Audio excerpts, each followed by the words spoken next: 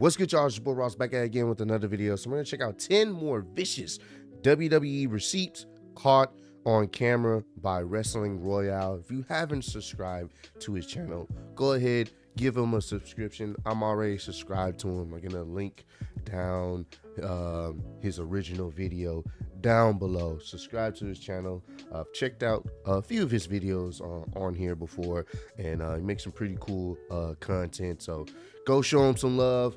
Hey, when it comes to uh, wrestling, we've we've seen wrestlers give out receipts to uh, individuals, you know, and a lot of times it's just part of the business, man. Sometimes you may get a little bit too excited as a, a up and coming wrestler, or just a situation where someone gets a little bit too excited and they, you know, give someone a stiff shot or whatnot, the wrestler usually sometimes either gives them the receipt right then and there in the match or in the segment, or they wait at a later time to give them the receipt. It's just part of the business. And it's not to intentionally hurt someone, but it's just more of a one of those type of things where it's like, hey, hey, you you got me real good.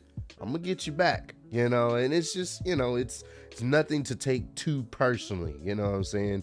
But there, I'm sure there are some instances where wrestlers are like, hey, nah, you you hit me a little bit too hard hey, you have to calm it down. I took that personal. So we're gonna check out some of these instances. Appreciate all the love and support you guys shown on the channel. Ah, receipts. Get into it. They're a concept unique to the pro wrestling. Jesus.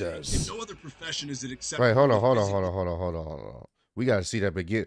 Ah, receipts. See, that technically wasn't a receipt. That was just more or less them booking some extreme angle where Brock Lesnar goes completely rogue and then just legitimately bust him open with his elbow. that, that I, I, think that was just an angle, more or less. I don't think that was more so a receipt or whatnot. So I could be wrong there, but from what I know, that was just more of an angle that they kind of kept it between a few people.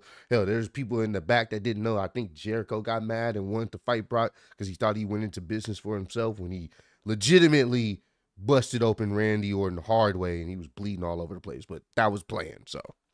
They're a concept unique to the pro wrestling industry. In no other profession is it God acceptable damn. to attack someone Jesus. just for their incompetence. but in wrestling, punching someone if they mess up isn't just acceptable; it's very much encouraged. Nine Yeah. times out of ten, stiff shots are accidental. But some wrestlers have a track record of being unsafe or unprofessional in the ring. And in this video, we'll be looking at times wrestlers have sent messages to their opponents with their fists. Here are more famous wrestling receipts, starting with Chris Jericho tells Tommy he's dreaming. Ooh! Oh my God! In the 2003 Royal Rumble, Tommy Damn. Dreamer showed up with a garbage can full of hardcore goodies. One of the weapons was a kendo stick, which Dreamer used to attack various superstars. Chris Jericho accidentally took a kendo shot right to the face and it busted him open. Jericho looked oh. like he had a I think I remember eye. this. Furious about this, Ooh. Jericho gave a prone Dreamer one of the hardest kendo shots in the history of wrestling before tossing him out the ring. It Diesel happens. gives Virgil some elbows. and not the elbow. Oh! Oh! During the 1994 Royal Rumble match, Virgil entered and was meant to get a little bit of offense on Diesel before being eliminated. He hit the real life Kevin Nash with a stiff shot to the face, and Nash snapped and gave Virgil some of the stiff. telling you, man, sometimes you get a little bit too excited and you hit somebody for real. They be like, all right, bet. Them elbows, oh, he felt that. The elbows, as my my man call them, he felt those. elbows you'll ever Bow! see. Seriously, these things look like they're straight out of the UFC knockout. Diesel then grabs Virgil and tosses him Get your- forcefully over Get the your top ass out the ring. Damn. Arn Anderson smashes Kevin Nash. Oh yeah. Jesus. We've we've seen uh seen a clip of this. Jesus. I know, I know, it's not WWE, but it's too good to ignore. On an episode of Nitro in Facts. 1997, Nash dressed up as Arn Anderson to mock him, but it hit a little close to home with Nash making fun of Arn's real life drinking problems. What's worse, Anderson was forced to retire from wrestling and never could get his revenge in storyline or in real life. Well, that is until January 2000 when Nash was challenging Bret Hart for the WCW World title. Arn was scheduled to do a run in and hit Nash with a steel pipe, and oh boy, did he ever. Just listen to this thud. I'm sorry, bro. Like I said at the beginning of the video, sometimes people take it personally. And that was a personal shot with that lead pipe. Jeez, bro. Oh my God. Two Antonios and one ain't so great. Oh, Jesus. Oh.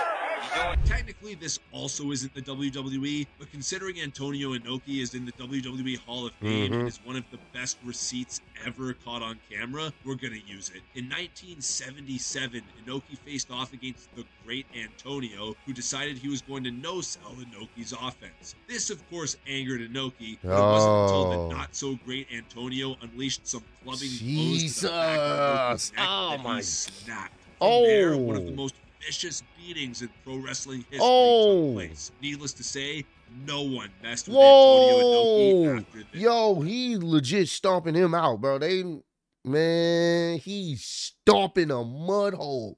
My man's not moving. Like he was legit.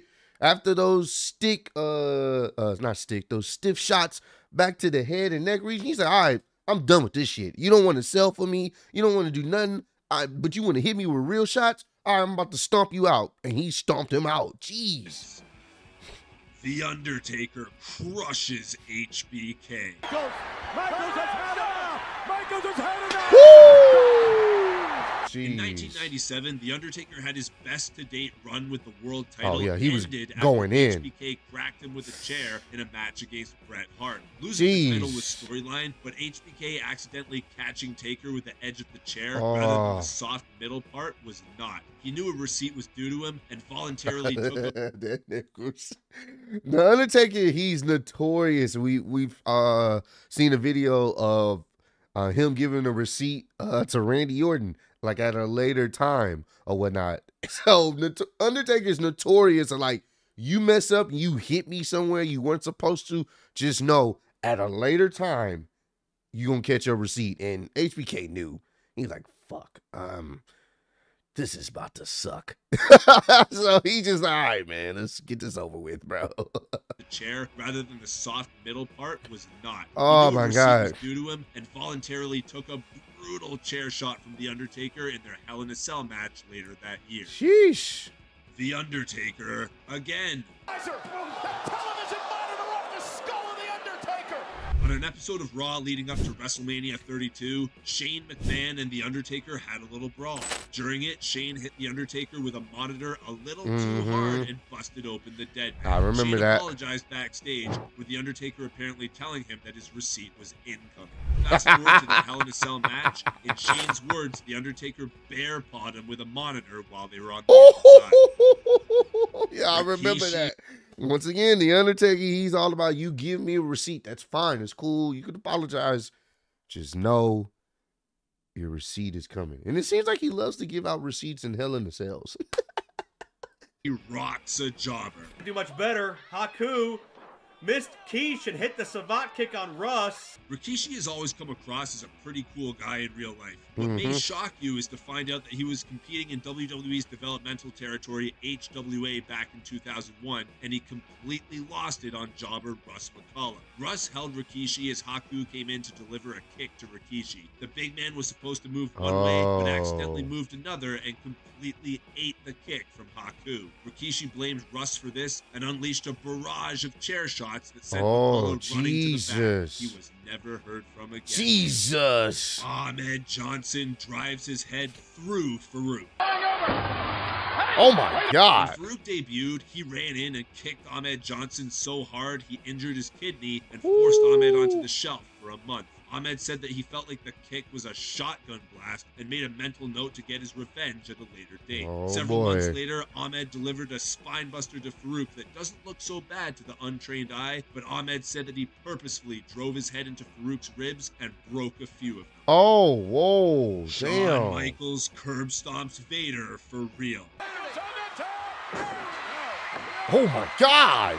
Seth Rollins has a really cool finisher called the curb stomp. It's so cool that when WWE tried to change it for the pedigree for a few years, fans Mm-mm. revolted until it was brought back. But where did he learn Yeah, the curb stomp is it's a it's a good finishing move because it looks believable. You you stomp somebody's head into the ground, they shouldn't get up. this move from? It could have been as a young fan watching SummerSlam 1996, where Vader challenged Shawn Michaels for the world title. At Yeah. one point, HBK jumped off and Vader is a tough guy. From the clips I've seen and people talking about him, Vader was he was a tough guy. He he he was he would he'll give you some stiff shots back if you have to. He he can go with the best of them. top rope and Vader was supposed to move. Vader forgot to move and Shawn lost his mind. Damn. He stomped Vader on the head for real before berating Vader and interrupting the entire match for his fit. Nia Jax and Charlotte Flair get after it. Oh boy. Oh my god. Oh my god. Nia's gonna maul the queen. On an episode of Raw in 20 Nia is known for giving uh, real stiff shots. We saw what happened with Becky Lynch nose that one year, so mm, we know how that goes. 2021, Charlotte Flair and Nia Jax were facing off in a one-on-one match. There was a miscommunication, and previously building bad blood boiled over as Charlotte started hitting Jax for real. A lot of it took place during the commercial break, but a lot was still caught on camera. Nia Jax eventually had enough and decided to smack Jesus. Charlotte with a decent 1-2 combination. The two eventually got back on track and finished the match, but this was as close to a real fight on Raw we've seen Facts. in a long time. no, those are real slaps, bro, to the face. Like, whew. Don't get on Nia's bad side. Sheesh. Umaga turns Steve-O into a jackass. Oh my. The Jackass crew were brought into Raw in 2006 to promote their upcoming movie. Umaga was meant to come to the ring and destroy Steve-O and Chris Pontius, but within the scripted world of pro wrestling. Don't get me wrong, all of Umaga's moves look painful. Oh my. God. Steve-O wanted to be the Joker he always is and chose to laugh after receiving Umaga's brutal offense. This angered the Samoan bulldozer, and he Oh. absolutely mauled the two. Oh my god. He, he yeah, he didn't sell it. but it's it's jackass. They're there to get hurt. Legit. They want to get legit hurt. That's that's just them. Matt Hardy makes the biggest mistake of his life. That's still one of the coldest chair shots in WWE history. He hit that nigga in the back of his head. Dub would love this clip. I've sent Dub this clip and he's always smiling when he's seen it. But bruh, I want y'all to know, boy, that boy, that was a nasty chair shot. God, Hardy, it's more. To get Paul Heyman and the Big Show were in the ring trashing Brock Lesnar when Brock appeared on the entrance ramp and started making his way to the ring. Matt Hardy then ran out and cracked Brock with a chair shot, accidentally hitting him in the back of the head with the edge of the chair. Brock was cut oh. wide open, but refused medical attention, refused to put on his wrestling gear, and absolutely mauled the Sensei of Mattitude in their one-on-one Yeah. match later on. Oh, yeah. Mattitude follower Shannon Moore wasn't safe and ate a hellacious Yep. F5 from the beast. Receipts come in all shapes and fits. Jesus. Yep. Yep, we've seen that was uh WrestleMania 31. This was a very good match. very good match, man. They their very first match they had against each other was really, really good, man. But nah, bro, he he was beating the shit out of Roman.